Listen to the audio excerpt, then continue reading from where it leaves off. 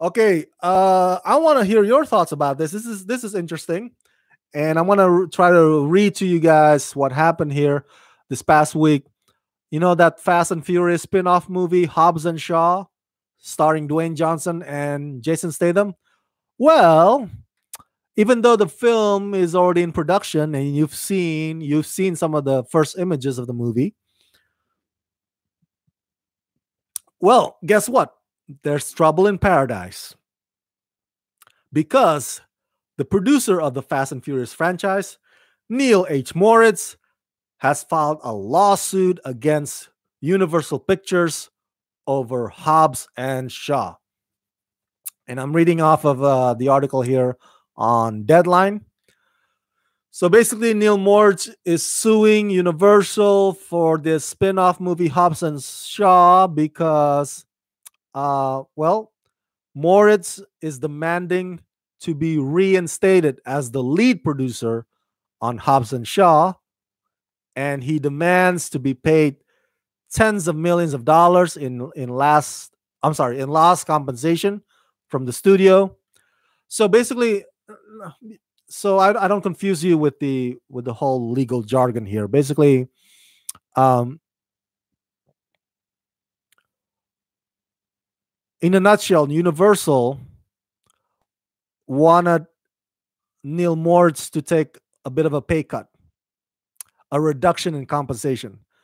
Um, and when Moritz refused, I think Universal wanted to also kind of take his credit out of Hobbs and Shaw, which pissed him off even more.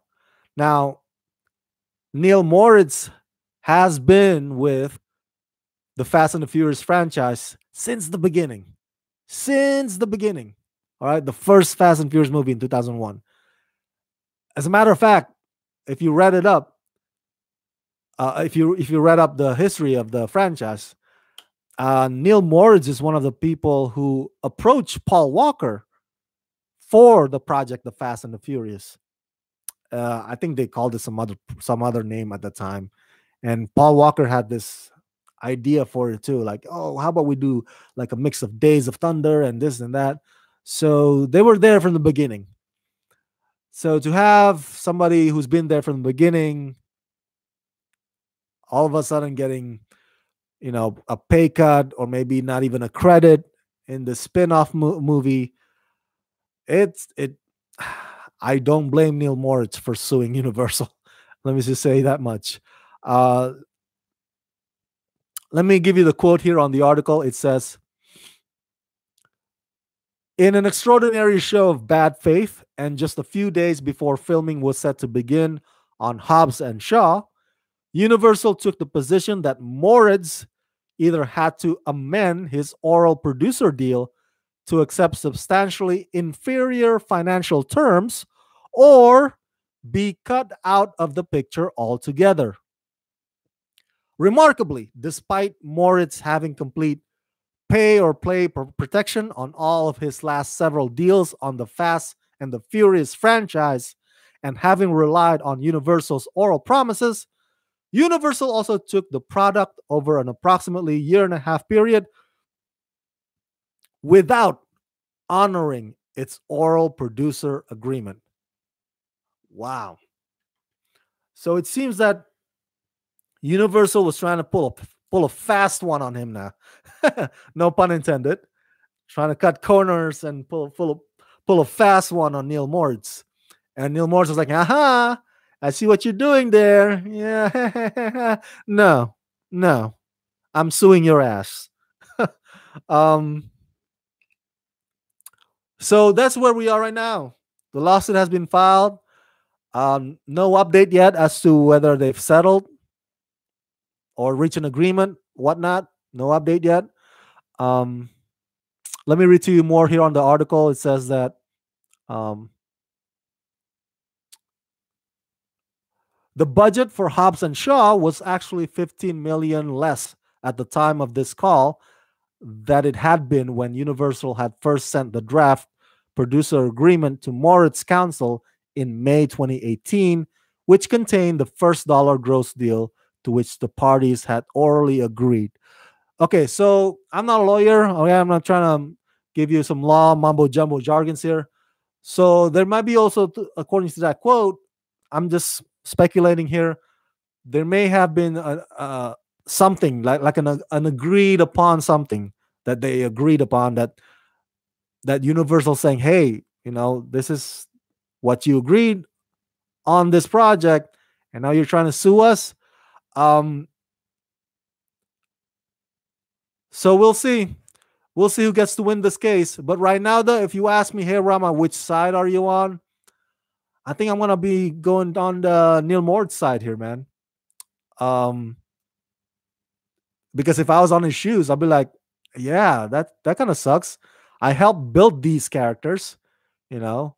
Um, and now you want to make a profit or make a movie, another movie, a spin-off movie based on some of the characters from this franchise that I built, and I don't get shit for it. Yeah, that's that's not cool. That's not cool. Um, now, if you remember though, before Hobbs and Shaw started production, remember Tyrese Gibson, one of the stars of the franchise, he too had a problem with the project. As a matter of fact, he had a beef with Dwayne Johnson about the idea of him, you know, spinning off Hobbs and the character Shaw. Now, if I remember, excuse me, um, Tyrese was upset because he felt that Fast and Furious should be one unit, should be like, you know, like the theme in the movies, family, like, you know, you know, we ride together, we die together, you know, some cheesy shit like that. so it's like, we're a family, man, we're a unit, you know, you can't just do spin off on us like that. So that's basically what Tyler uh, is arguing. You know, he doesn't like the fact that, um, I think he, at, at one point, Tyrese also said, like, hey, this is how I feed my kids, you know, this is my livelihood and you're taking that chunk away from us, you know, to, to go off and make your own Hobbs and Shaw movie. F you, Dwayne Johnson. That's basically what Tyrese has said. Um, some people at the time when that happened, some people say, oh, that's just publicity stunt. You know how Tyrese and Dwayne are actually friends, and they just want to, you know, cause this commotion. Like when Dwayne Johnson had a commotion with with Vin Diesel on the set it's all publicity, man. Just so you can, so you can like, you know, get, so so you can pay money and get your ass into the theater seats and, and watch the movie. No, I think I think they really had a beef, and I think the the thing with Dwayne Johnson and Vin Diesel that was I think I think that was real too. It was not like it was not a publicity stunt, and I think Tyrese really genuinely did not like the fact that Hobbs and Shaw exists this movie. Um, and now we have this lawsuit uh, which we don't have the update to yet. Um, but if I were to pick a side, you know, because I'm always, I'm always, anytime there's a like a law case or or a courtroom case, you know, when when it's not so clear who's the bad guy or the good guy, you know, some some some some cases are black and white. But I most of the time I'll be like, okay, who's the little who's the little guy here? Who's the David here? You know, versus the Goliath. Who's the David? and I'll and I'll go root for that guy. I'll go root for David. I'll go root for the little guy. And just basing on this article alone, it seems that um, it seems that Neal Moritz is the one that's getting the bad end of the deal. So I feel for the guy, and hopefully he gets his um uh what what he deserves, man. Well, I mean, like not in a bad way, but he gets paid what he deserves. That's what I mean. So yeah, it's gonna be interesting though. Who knows? Too maybe when Hobbs and Shaw uh, is about to hit theaters and they're having their press promotion, you know, because the, the actors have to do promotion, right? They have to do press junkets and do TV interviews. Maybe the questions will come up too. Maybe some of the press will ask about this at the press junket, and we'll see how they handle some of those questions. We'll see what we'll see what their answers are when that time comes. All right. Uh, what do you think about this lawsuit against Universal Pictures over the Fast and Furious spin-off movie Hobbs and Shaw, starring Dwayne Johnson and Jason Statham?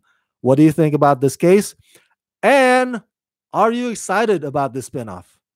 Or are you on the camp of like, oh my God, why is this franchise still running? This franchise just needs to die already. so which camp are you on? Which uh, which side on that spectrum? So share your thoughts in the comment section below. As always, I want to hear what you think of this particular topic. Let's rock this.